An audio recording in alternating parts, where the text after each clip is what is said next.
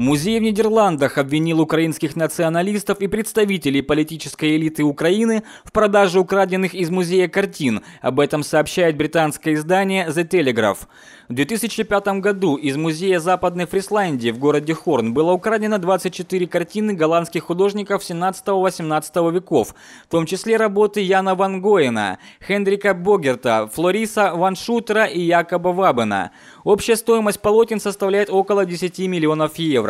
Накануне музей заявил, что картины обнаружились в Украине в июле 2015 года. Члены украинского добровольческого батальона ОУН связались с посольством Нидерландов в Киеве и заявили, что картины находятся у них, предъявив фото одного из полотен в качестве доказательства. Мужчины потребовали 50 миллионов евро за возврат картин. Музей назвал ключевой фигурой в этой схеме заместителя командира ОУН Бориса Гуменюка. Также, по данным следствия, на стороне преступников выступает лидер националистической партии «Свобода» Олег Тягнебок и экс-глава СБУ Валентин Наливайченко. Сотрудники музея говорят, что исчерпали возможности дипломатических каналов для возврата картин и зашли в тупик.